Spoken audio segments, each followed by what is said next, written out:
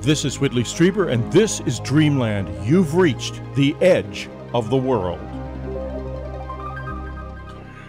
Today on Dreamland, we're going to have someone on the show who is more than a living legend. Uh, is one of the most important voices in this community because what he has brought to it. Uh, in my new book, Them, I make a point of talking about his work and uh, what he has brought. Uh, we're going to be talking to Robert Salas. I'm sure you he needs no introduction for most of you. Uh, he's a retired United States Air Force officer. He witnessed a UAP event firsthand at a uh, an air base. We're going to be talking about that.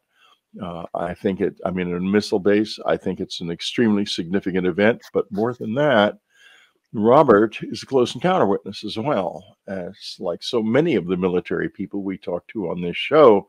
Um, I always say to them, you know, if you're looking at the visitors, they're going to be looking back at you, and that certainly happened. Um, so, Robert, welcome to Dreamland. I'm very happy to have you on the show at last. Great to be on your show, Whitley. Um, it's been a long time, but uh, I think we've known each other for a while. And uh, oh, well, that's the trouble with being our age. We've always known each other for a while. well, uh, now UFO, UAPs in the nuclear puzzle is a is a redoing of the book. Uh, uh, how does that work? Yeah, well, uh, uh, I guess last year my publisher proposed that we revise the book that I've got published uh, called "Unidentified: The UFO Phenomenon." Uh, right. Publisher and. Um, uh, well, because so much time had gone by, I had I wrote that in uh, actually 2011 for the first time on. Um, I think I self-published that one, but um, oh, I see. So we wanted to do an update to bring everybody up back up to speed and and uh, renew interest in the main topics of of this book, um, and those are uh, extreme government secrecy over the phenomenon, uh, number one, and then uh, uh, what the incident meant to me is regards to um, the warning of uh, the threat of nuclear war. Uh, you know, it's um, it's it's a it, it, it is a, the two subjects that abductees and close encounter witnesses most often mention are warnings about environmental issues and warnings about nuclear war. And uh, of course, those are the two key survival issues of mankind. Those are the two things that can do us in. And this, these are also the two things that uh, I call them the visitors because I'm not really sure where they're from. I mean, and they come and go in your life. I mean, they're here all the time, obviously, but they come and go in our lives. So I'm never absolutely certain uh, what what I'm uh, dealing with. Anyway, I'd just like to say Leslie Kean, another dear friend of this show, uh, made a wonderful comment about it, about the new book. UAPs in the Nuclear Puzzle will help inform the public and move us forward on our journey toward a new understanding of history, UAP, and our own true nature with respect to the larger reality that is revealing itself to us.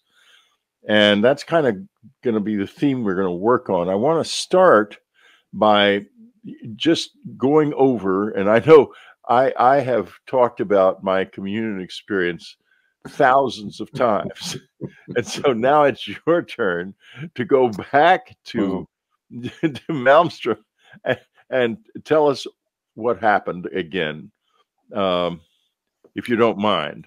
And uh, I'm not no, going to ask um, for a lot of detail because uh, I know my listeners and viewers probably know most of this story, but hearing it from the horse's mouth is important.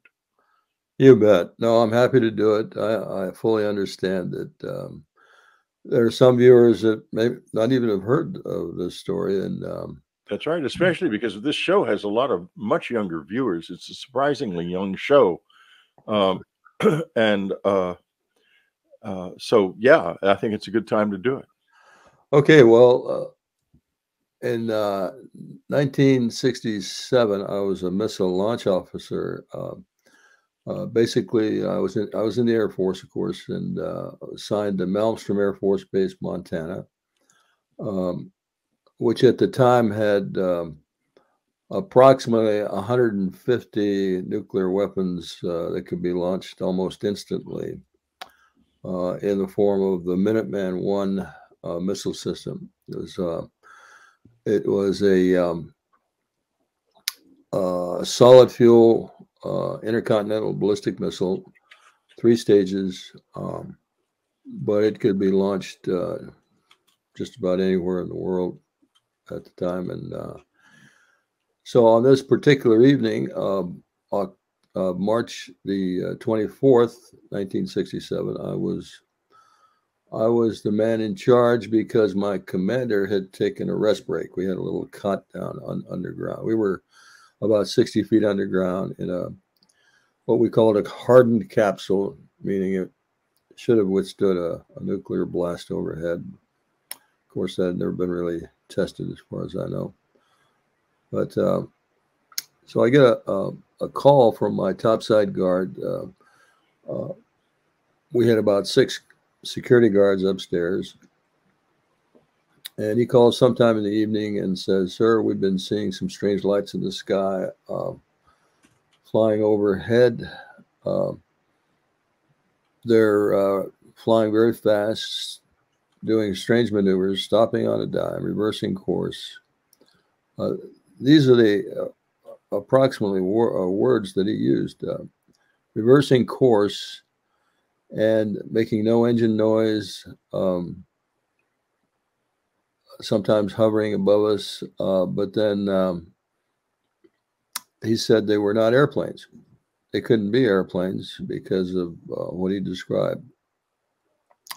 Um, um, so I, uh, I, even joked, "You mean like UFOs?" Because we had seen uh, reports in the local newspaper about uh, people in the area sighting these lights in the sky, and um, of course, we hadn't received any official statements from the Air Force when we were debriefed prior to going out on alert. We would get a briefing about what was going on in the field, uh, any modifications, programs, or anything like that, or status. Um, but none of that was reported to us about UFOs. So I just kind of joked with him, and he, he said, "Sir, um, but he was dead serious. He said, "Sir, these are uh, simply not aircraft," and I just wanted to report it. And so I thanked him for the report. Uh, basically, hung up, and um, and then about five or ten minutes, I'm, I'm not sure later, he calls back, and this time he's screaming into the phone. He's shouting, he's yelling, he's uh, unintelligible. And he says, Sir, uh, when I finally calmed him down, he said, Sir, there's a, a glowing red orange light hovering just above the front gate. The front gate was uh, about 12 feet off the uh, high, and uh, it was about, oh, I'd guess maybe 30 feet from uh, his location, what was it, inside the um, uh, launch control facility building and he wanted me to tell him what to do. Um, I know he had the guards out. He said, "I've got all the guards; their weapons are drawn." Uh, I think he was kind of hoping I'd say go ahead and shoot at the damn thing, but uh, I hesitated a little because I, I, didn't know what he was talking about. Really, I, it just never occurred to me that something like this would happen. And all he was describing was a reddish orange light that was pulsating at times no sound, no noise. Um, but the men were, he was obviously frightened, and the men were frightened, of course. And but they confronted this object. And uh, basically, I told him, you know, do what you have to do to ensure that nothing uh, in, uh, enters the facility, the launch control facility, which was the above uh, above ground facility that we had fenced in um, and then he said, "Okay, I have to go, sir. One of my guards got injured." Uh, he hung up the phone.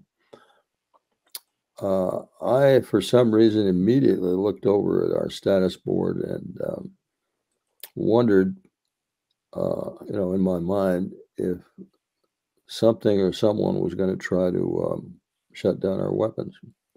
I don't know why I had that thought, but uh, that's what I was thinking at the time. Now, they had no controls over the weapons system upstairs. We had all the controls downstairs, so there's no way they would have. Uh, they, uh, I'm talking about my guards or anyone else, could have um, instituted some kind of a prank uh, to shut down our weapons. Um, uh, there was no control. Yeah. That would have been a fairly illegal prank, too, wouldn't it? Oh yeah. I mean, that's jail time. um, so well, the next thing is uh, I went over and woke up my commander, Fred Meiwald, uh, Colonel Meiwald, retired, uh, now deceased. But uh, I woke him up. He was taking a nap, and uh, I started to tell him about the phone calls, and then all of a sudden we get the these horns go off, bells and whistles and horns when uh, something happens to any of the missiles under our control, we, we get this loud uh, alarm. Um, so we both look at the status board, and sure enough, one of our missiles went down. And then very shortly thereafter, every single one of the missiles uh, went down. By down, I mean they were unlaunchable, they were disabled. Um, while this object was still up topside. So we go through our procedures um, and check our. Uh, we have uh, something called the, VRSA system. It's a voice recorded, um, activated system that tells us what the problem might be, and we we're reading uh, guidance and control system failure on each of the missiles. We also had a couple of um, incursion lights, meaning um, at two of the launch facilities. These launch facilities were located about a mile or so away from this facility, which we call the Launch Control Center. Um, and uh, two of those facilities had light indications that something or someone had tried to uh, enter that facility again illegally. Um, so I called upstairs I wanted to find out what's going on with this orange red light. And uh, he, he said it just flew off. Uh, the guard, there was a minor cut on his hand, um, but they decided to send him back to the base uh, to get some stitches, I think, uh, for the hand. And um, uh, but it was it was relatively minor. It was not caused by this object. It was caused by some um, something the, the guard did, either with his weapon or possibly tried to climb the fence. Yeah, they're, they're probably pretty excited. Uh, probably pretty, uh, yeah, they were. They, were they darn right they were. um, and that, um, okay, go ahead. No, no, go ahead. Well, um, we sent the guards out there to these two facilities where we had indicator lights of a possible incursion in those facilities. And they saw these objects again um, hovering above those facilities. Um, so uh, we ordered the guards back, and they came back again very frightened. And um, uh, then we went ahead, of course, and uh, called the command post. Uh, my commander called the command post at Malmstrom Air Force Base, which is about 100 miles from our location. And uh, they told us they were going to send out maintenance crews and get those birds back on on alert if they could. So at this point, um, nobody knew uh, what the true cause was or anything. Uh, um, but anyway, that was the status when we got relieved the next morning. We got relieved, went upstairs, talked to the guard again, uh, even though he was, um, I think he was already told not to speak to me um, uh, by his superiors. but I finally got him to uh, talk, and uh, he said basically the same thing. This object was hovering silently above the front gate. It was, and this was when was it? In 1968, I believe. 67. 67.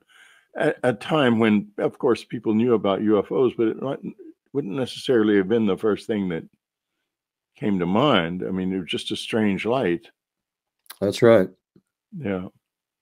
I was there in 1980 uh, working or doing research for a book called Black Magic. And I was taken down into one of the facilities, uh, the command facilities, and shown the the works and everything. And uh, when I was uh, taken to the missiles themselves, it turned out that the uh, the the uh, there were some kind of a problem with the targeting. And they, they one of the missiles there were people down in there working on one of the missiles its nose cone was all opened up and uh, so forth. And uh, i've always wondered if does that happen did that happen after any other times did you know of uh, not words, that i know of uh, i was there for three years and nothing like that ever happened except that one time. Because you, you would you would never have been told again. I mean, it, it, I, am sure if it happened again, it's probably That's not right. on your watch, and therefore no need to know.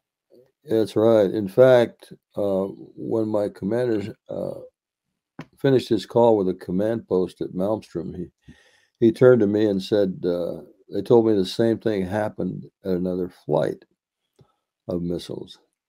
And I thought it was that evening, but it, as it turns out, that was the Echo flight incident. I was at Oscar flight.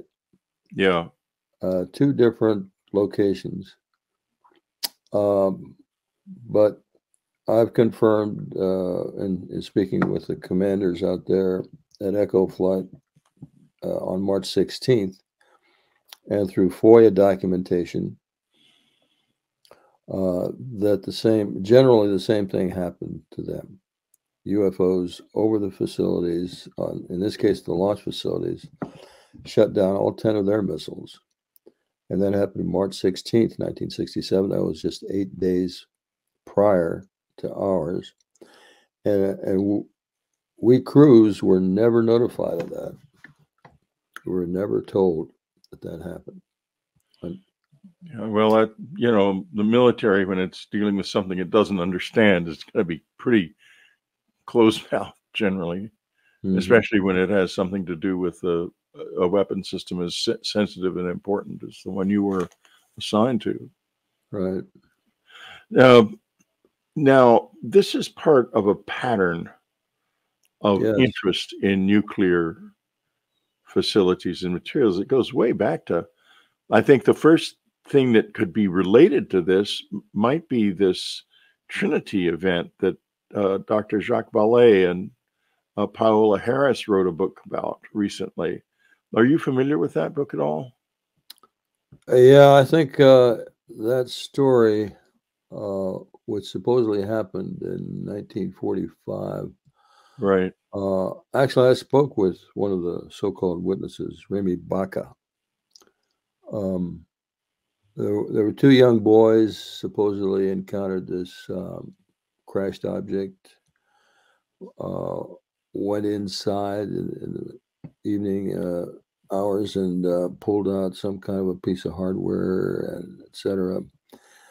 Uh, I think that has been uh, debunked at this point. I I certainly did not believe Baca when I talked to him. I spoke to him directly. Um, I interviewed him uh, at his home he showed me the, this piece of hardware, and, and of course, I had some experience with aircraft. Um, I worked for FAA for over 20 years as a uh, structures engineer, and so I'd seen a lot of aircraft parts. And this to me uh, was simply um, some kind of a casting uh, and probably a uh, from some aircraft. Uh, it had nothing exotic about it at all. So uh, I don't know if you talked to Vallée or uh, Paola lately, but um, it is my understanding that uh, now this story has, has fallen from favor as far as, as far as the truth goes. Let's say. Right. Well, that does tend to happen in this field. It's uh, Yeah. fraught with with problems like that. Um, and the what happens in the end is you, you never really will know because of the phenomenon's ability to distort memory and cause people to say and do things that Yeah. that it wants them to say and do, and uh, to obscure its uh, presence Yeah. in this manner. So, However, uh, yeah, Uh. I, I would add that in, in 1945 and 1944, twice, as far as I can tell, uh, aircraft were scrambled over um, Hanford nuclear facility. Hanford was Yeah. processing plutonium at that time for the first atomic bombs. That's right. And there were numerous, which was the one where they were processing nuclear materials for medical purposes. It wasn't Hanford. Uh, there was another one that, that had also, Oak Ridge, maybe? I don't know. yeah, I- yeah, I- yeah, maybe it was Oak Ridge. That that there were incursions there too, uh, overflights and strange events.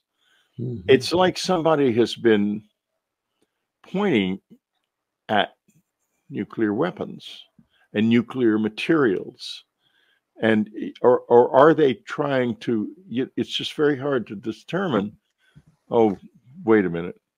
As usual folks you will be there all my listeners are always and viewers happy to know that i forget the breaks. And i forgot the break so we're going to do it right now. Uh, we'll be right back. Who are they? Why are they here? What do they want with us why is it all so secret?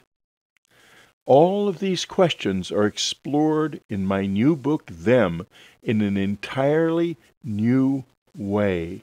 What do Close Encounter reports tell us about what the visitors want with us?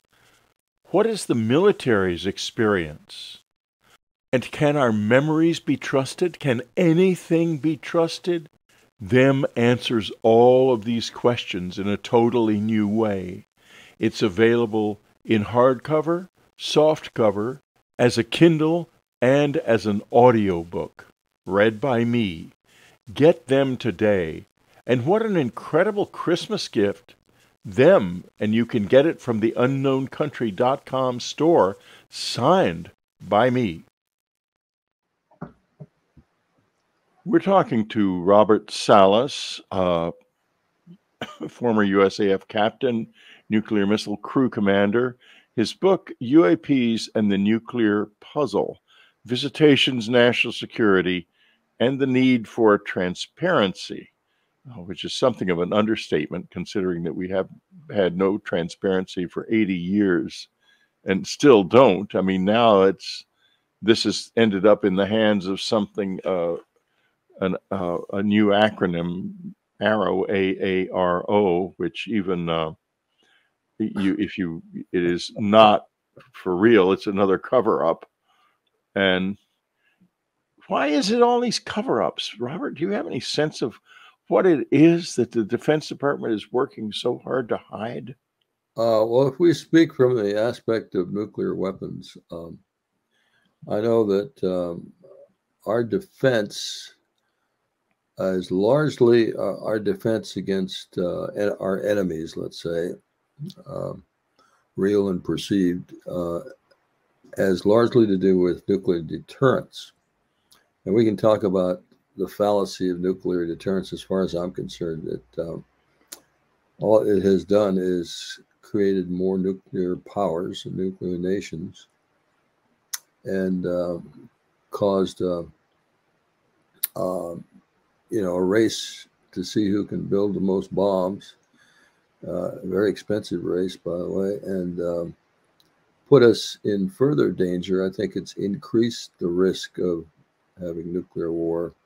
This policy of nuclear deterrence, or another way to say it is mutually assured destruction. Mm, Well, that's of course that was true in the Cold War when there were basically three nuclear powers: the United States, Britain, and uh, uh, uh, Russia. Yes. Now we have a situation where China is building out its nuclear presence at a tremendously rapid rate. Russia is still on the scene. Pakistan and India. Uh, yes. Uh, Iran is working hard to build a nuclear arsenal. Uh, Israel's got a nuclear arsenal. There may or may not be nuclear weapons in South Africa. There's all kinds of places. Uh, well, don't forget North Korea and, and, North Korea, even, you know, all of these wonderfully stable, reliable states where you can count on the leadership to make sensible decisions have got nuclear yeah. weapons. We're in and, uh, danger. Uh, and India and Pakistan are currently at war over the um, Kashmir district, right, of Pakistan. And like you say, they're both nuclear powers. Um, so, and and Pakistan has uh, there have been indications they've been infiltrated by uh, radical elements of uh, Islamic Jihad. Uh, their yeah, the, the, their their nuclear arsenal is vulnerable to uh, it, infiltration like that. It, so it's That's a right. very very unstable situation. That's correct. It is continues now, to be. Yeah. I'd like to get into your own experiences because I have talked to many military people on this show over the years. And the reason most of them end up on the show is two reasons. I mean, the reason you basically end up on a lot of shows is your experience with uh, at, at Malmstrom and the, your the your deep thinking about the significance of the nuclear threat and uh, what's being communicated to us. But then again, this is a show about close encounters mostly and uh, the spiritual aspects of that. And you have had a close encounter, at least one. Could you tell us a little bit about that? Sure. Uh, 1985, uh, I was a civilian, actually working for uh, FAA at the time and uh, we had a house in uh, Manhattan Beach, California. Uh, I remember the exact house in '85, uh, and that's how I remember the date uh, of um, of this incident because uh, of the location of the bedrooms, etc. And I was trying to get closer and closer to the seashore, so I would buy up uh, old homes in Manhattan and uh, refurbish them and then resell them uh, in order to uh, make a profit and buy another piece of property and get a little closer to the beach. That was my goal. so I remember the house we were in in uh, when this uh, happened and the year I owned the house, 1985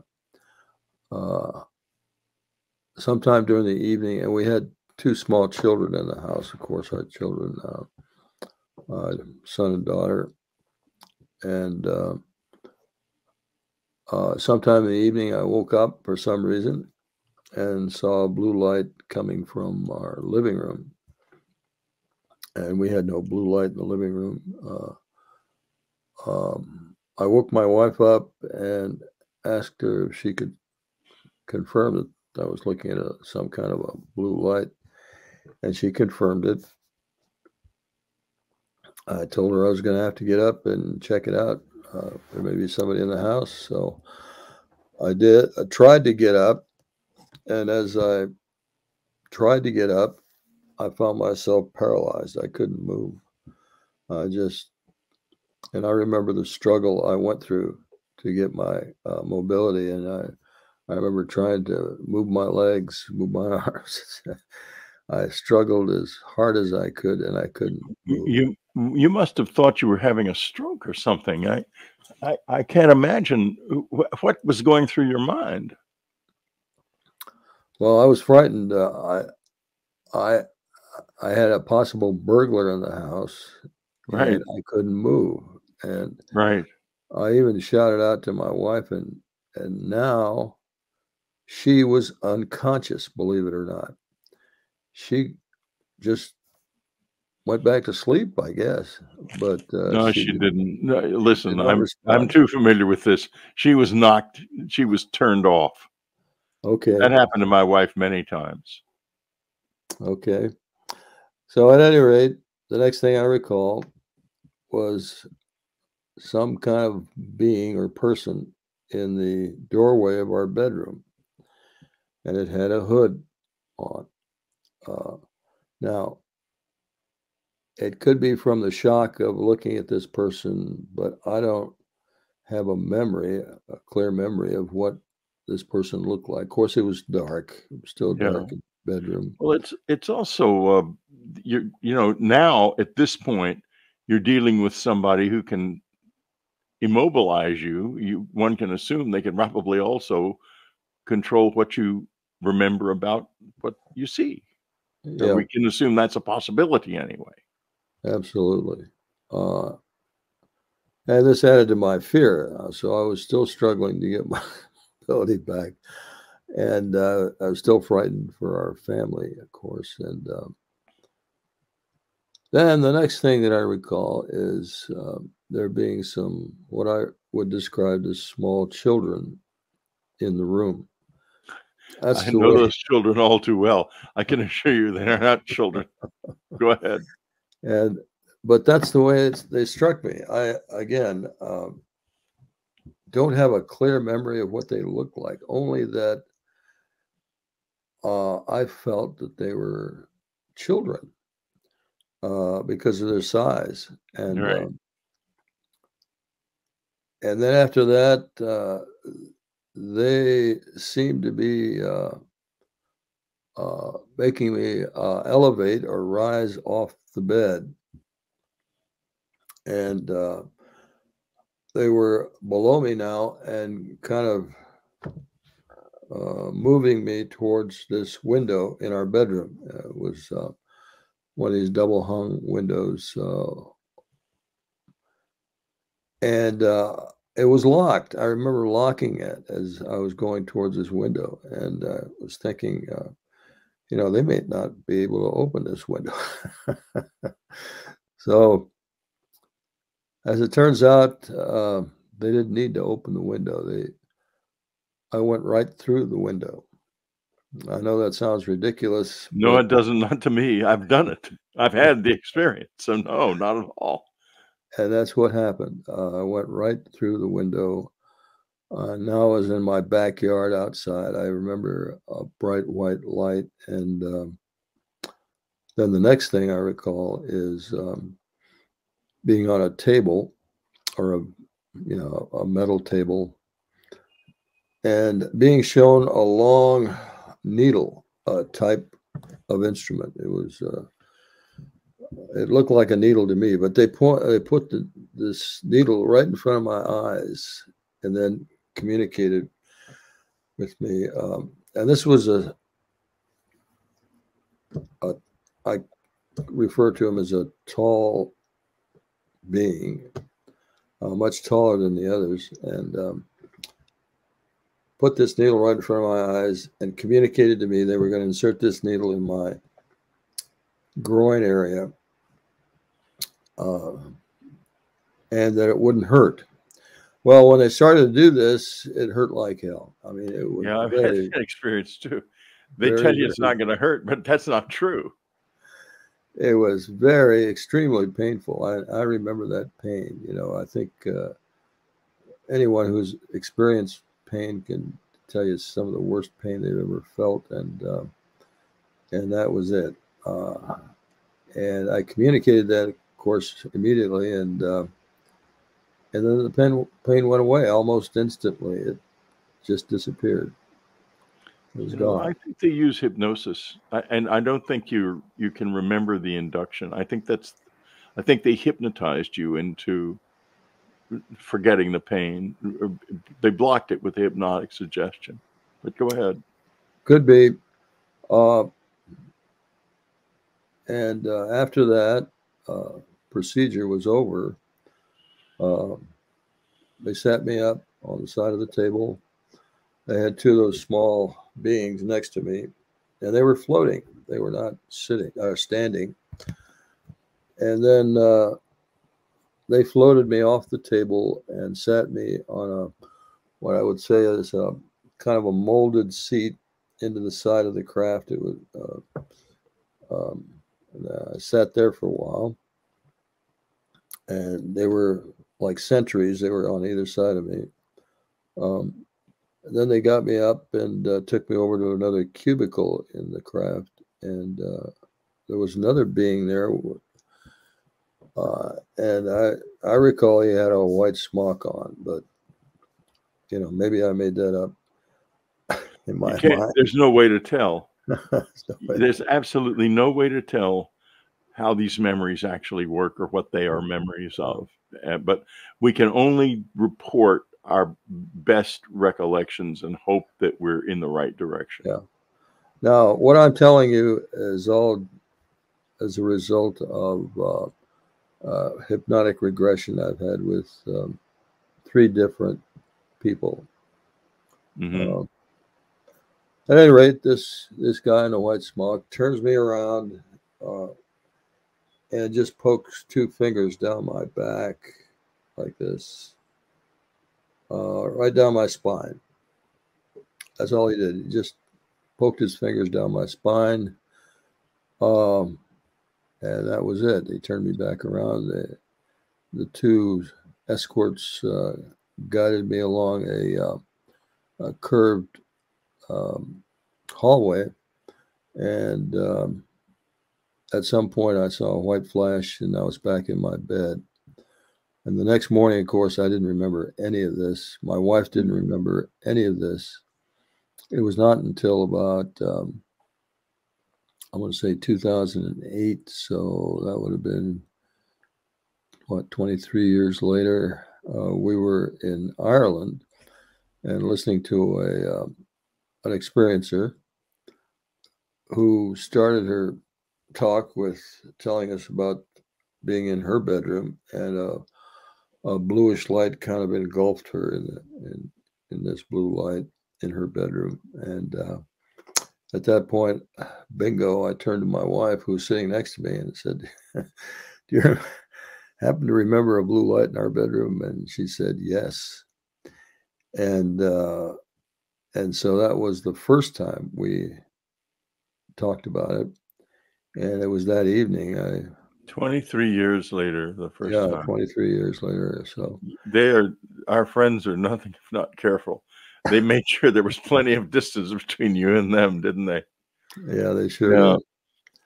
so it happened that mary rodwell you, you probably know mary sure rodwell, i know mary uh, happened to be there um, and I talked to her and I said, Could you do a regression on me tonight? And she did.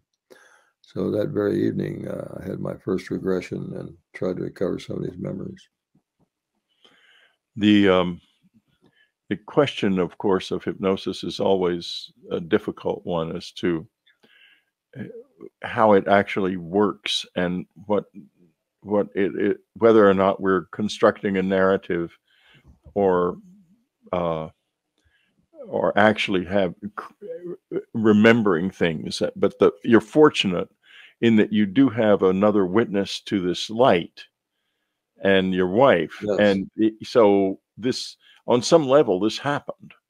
And oh, I absolutely. I, that uh, I, I, three three things that convinced me that this was not a dream was of course my wife recalling the blue light in the bedroom. Yeah. Number one and then number two the uh, the way I struggled to retain uh, to try to get back my mobility. Uh, yeah, was paralyzed, and then uh, number three, the extreme pain of that uh, incident. After the incident, was there additional? Did you the next day, for example, did you still feel uh, pain in the groin area? You know, I just don't remember uh, anything about that incident the next day. Uh, I just don't recall anything about that next day.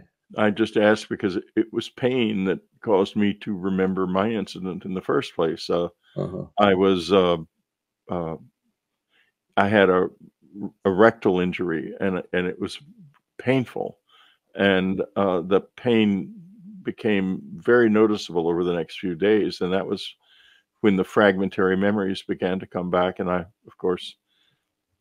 In my life in 1985, when my experience also happened, I had no notion of any of this stuff. I hadn't thought about flying saucers since I was a little boy. And I thought I'd gone mad. I, I thought I'd lost my mind. And in fact, the, the injury was the only thing that made me think that I had been assaulted. But initially, my doctor and I thought I was the victim of a crime. Yeah. You know, I mean, a, a, a regular crime of some kind. Right. Now, do you think are you aware of any other incidents in your life that may have uh, been connected with this especially in even in childhood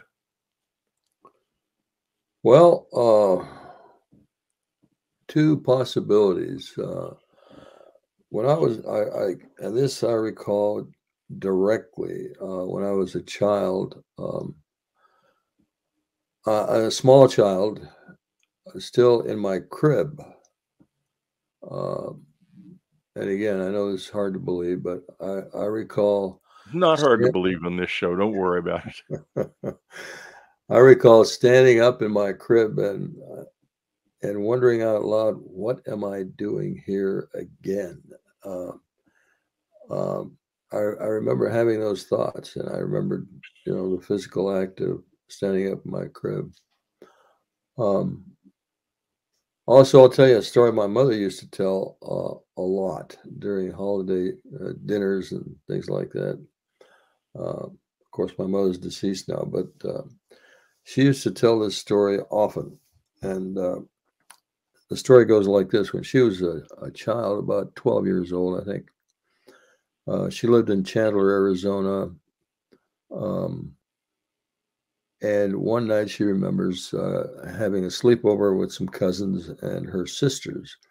So she had at least three or four sisters uh, with her and uh, a couple of cousins. And, and uh, at one evening, uh, that first evening, um, sometime in the middle of the night, uh, everybody woke up and saw this woman in the hall in the doorway, a white woman. Um, now, my, my mother is Hispanic, uh, uh, and uh, and so were all her friends and uh, sisters, of course. And this was a white woman. that was not a neighbor that anybody could recognize. It nobody recognized her, but she was a, the so-called tall white with a long white gown. And she turns to my mother and smiles at her, and then leaves. That's all that happened that first night. Second night, she recalls uh, being woken in the middle of the night and uh, by a midget, as she described, a midget whispering in her ear some strange language in her ear that she couldn't understand, but whispering in her ear. She wakes up and shouts out.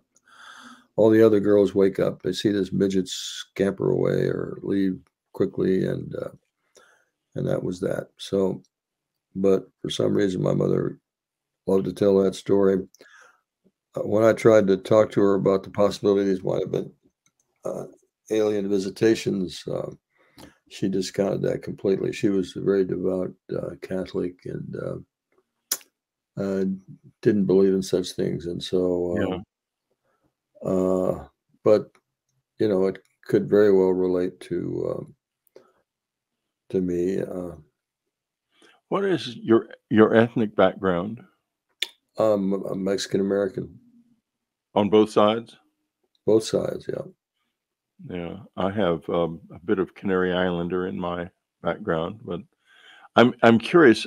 Is there any? Uh, is it is it all Hispanic, or, or there, is there any any? Do you know if there's any Indian? Uh, yeah, I've got some. Uh, let's see. yeah, I did do that 23andMe thing or something like that. Uh, yeah, uh, so I do have some Islander in me also. Um, uh, Spanish, of course, and then uh, let's see, Irish, a little bit Irish, and um, uh, I think that's about it. Yeah. Well, the when we did, uh, we had the communion book out. We got lots and lots of letters, and uh, we also had something called the communion uh, newsletter. And when you looked at the list of people who took the communion newsletter, there were an awful lot of Irish names and uh, uh, and it's, it's Scottish Irish names, and of course the fairy folk are uh, uh, that that all of that material comes from that starts in that part of the world. So who knows what it's about? But certainly one thing is quite true, quite clear that no matter what in the larger sense it's about, one thing it is about is us it's about us. And you know, I wonder if you if you were chosen to have the experience at, at Malmstrom precisely because you would end up going out and talking about it. And I, want to know what your motivation was, your original motivation, and when did you first decide to talk about this. Okay, so one of the things that happened the day after my incident, uh, I'm talking about the Malmstrom incident now, is I got a phone call from these security guards that had actually seen this object. And they begged me to come and see them and talk to them, you know, because obviously this was, um, you know, you, you can imagine uh, whatever religions they were, this might have impacted their worldview about uh, God and religion and oh sure. uh, seeing this bright light um, uh, very magically hover and uh, shut down our missiles um, so they were begging me to come out and see him but by then i had signed a non-disclosure agreement uh, if i had been caught uh, speaking to them um, about this incident I could have spent a lot of time in jail. Basically. Yeah. yeah. Uh, uh we, we're going to take a little bit of a break. We're going to unpack the non disclosure agreement after the break. We'll be right back. Have you ever read Communion? Or have you never read Communion? It's out in a new edition, very powerful, a subtly new cover that reflects the fact that the visitors are now looking back at us because they truly are. You can get it from the unknowncountry.com store as a Kindle, as a beautiful, sumptuous paperback, or as an unabridged audiobook read by me. It's the first time in the whole life of communion that it has been read in full in audio format.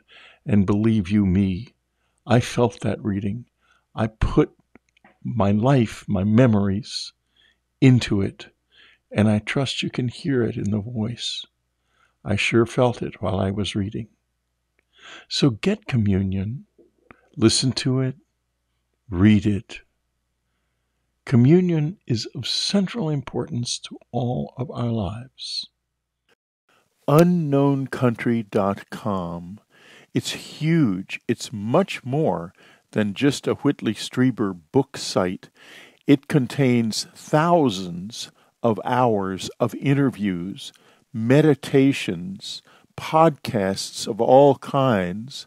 My original hypnosis tapes are there. You can actually hear the moment that I discovered that I, at least, was not alone in this universe in the office of Dr. Donald Klein so many years ago.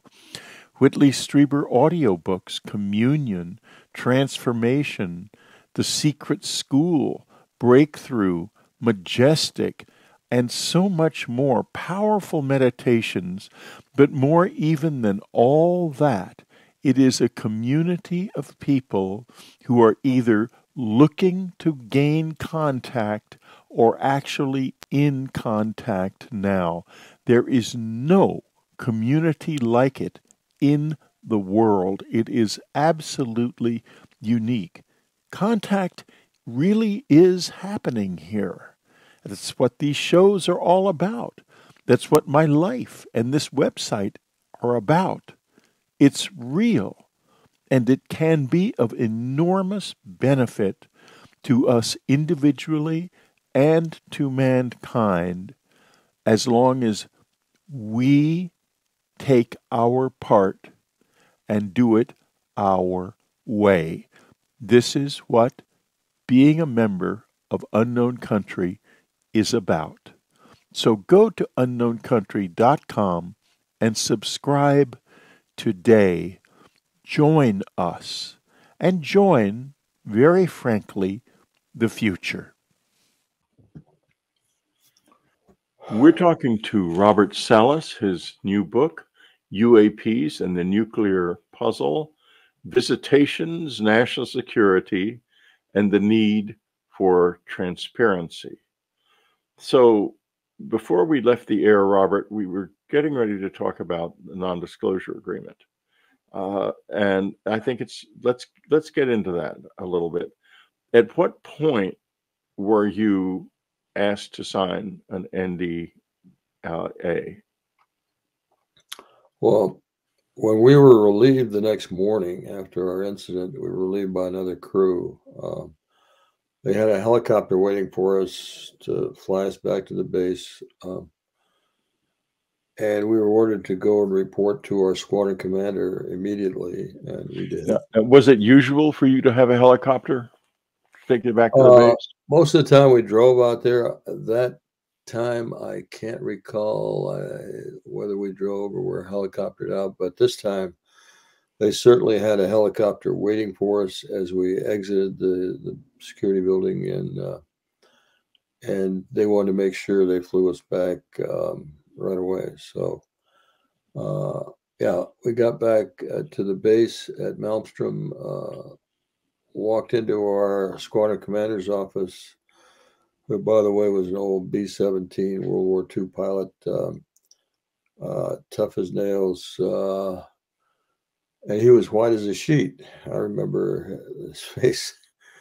He was white as a sheet, especially when I asked him, What the heck was that all about? Uh, was it some kind of an Air Force exercise? Uh, something we didn't know about, etc. And uh, he said, absolutely not.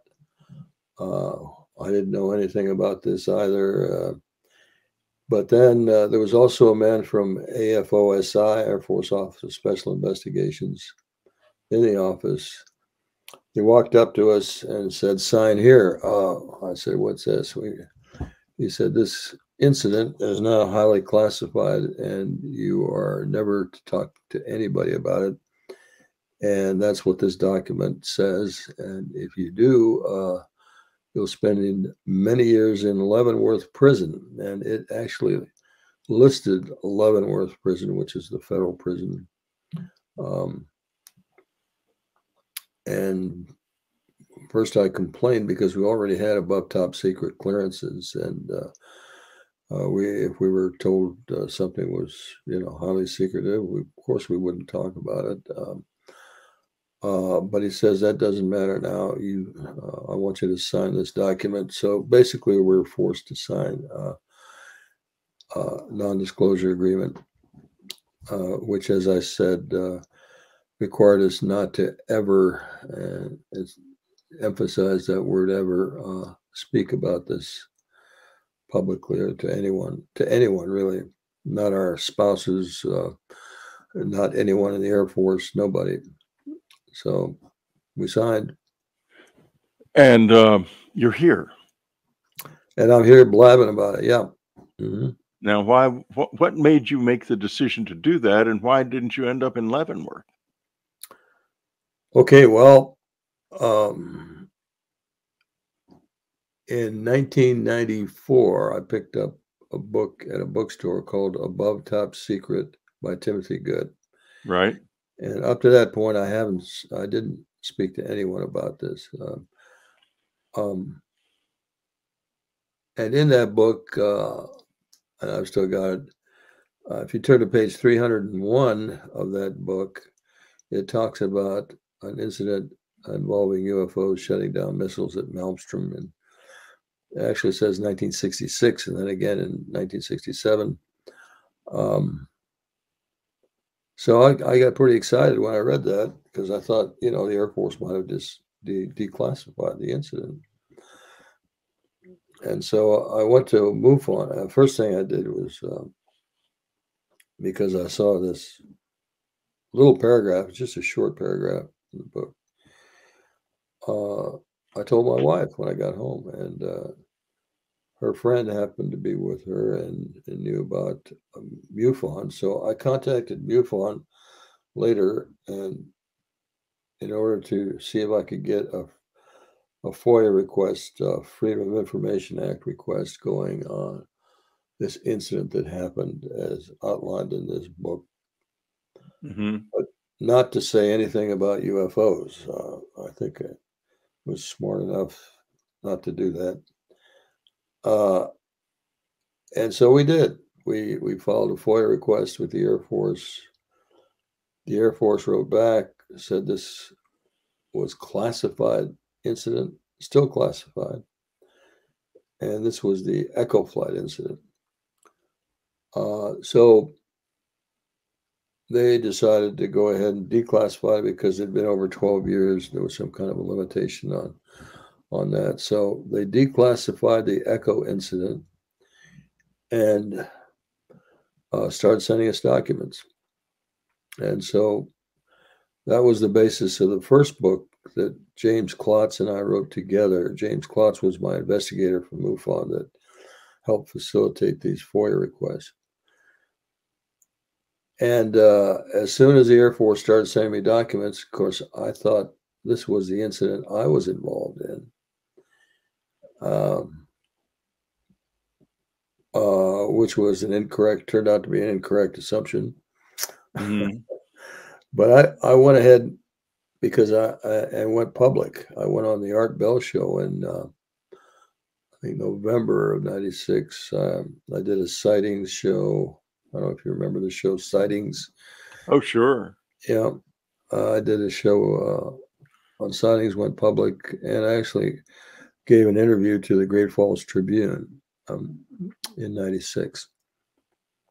So I went public based on the th- idea that this was my incident. But as I did more research and started talking to other people, trying to uh, locate my commander, I realized that I was not at Echo Flight. I was at Oscar Flight. So your, your NDA still applied. And my NDA still applied as it does to this day. So uh, to this day, I'm in violation of that NDA. However, and have you had any blowback at all about that? No blowback at all. None. I was never warned or told by the Air Force or anyone else that uh, I should not be talking about this.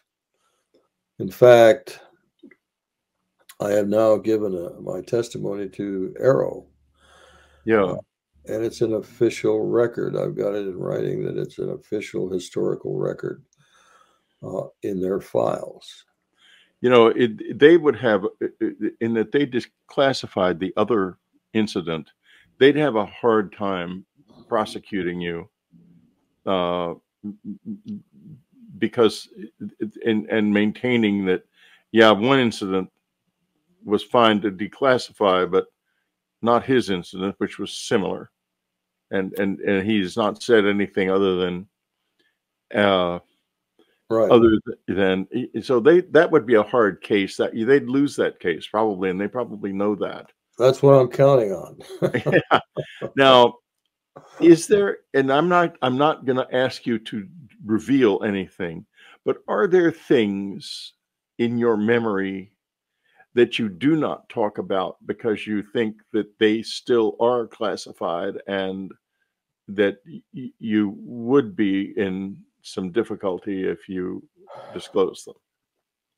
Yes, there's certainly uh, aspects of my job as a missile launch officer that, right, if I revealed, uh, you know, some details uh, that are classified, I, I would, I could certainly be prosecuted for that, uh, um, and I haven't. Uh, the, you know, the, the yeah, parts of our job, parts of the job I had are sensitive and. Um, and should not be uh, should not be revealed by me or anyone else. And when I was down in that missile command center, they had the areas of the various control systems had to be covered with black uh, cloth so that I could even go in there. So, and you know, so it's still a very sensitive. Yeah, absolutely. Area. We're gonna. Do you do you know anything about any Russian experiences that are similar to this? Uh, yes. Uh, well, wait, wait a minute. I'm just noticing that we've come to the end of the first hour. So let's talk about this in the second half hour, in the in in the final half hour, the Russian stuff, and also I want to get a little bit into your into you as a person, your your if you have religious beliefs and so forth, and trying to figure out what would make them because it seems to me pretty clear that you were chosen.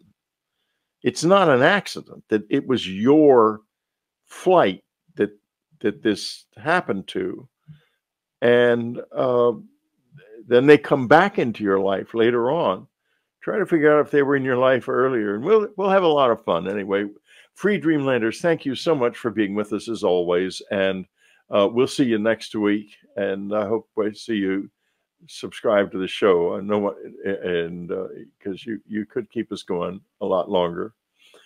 Okay. You've been listening to Dreamland.